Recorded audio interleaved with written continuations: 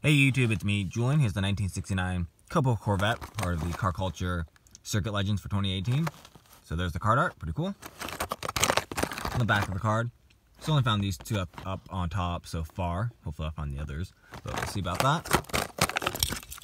So there it is, metal on metal. This base happens to be uh, painted a matte black. That's pretty cool. Of course, uh, of course, it also comes with the real riders. You can see these are treaded.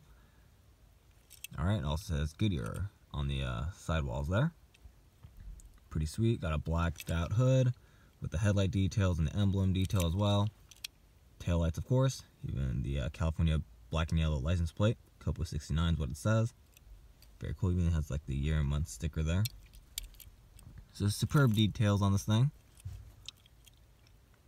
Gas cap is also detailed. Anyways, there you have it. Thanks for watching. Please check out my other videos and keep collecting.